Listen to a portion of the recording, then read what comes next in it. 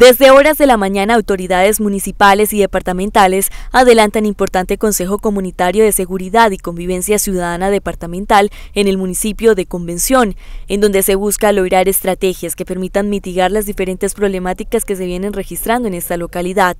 Temas como extorsión, homicidios a comerciantes, líderes sociales, población civil, entre otros casos presentados en la zona, los cuales han generado mayor preocupación en la comunidad de esta región. En medio del Consejo de Seguridad,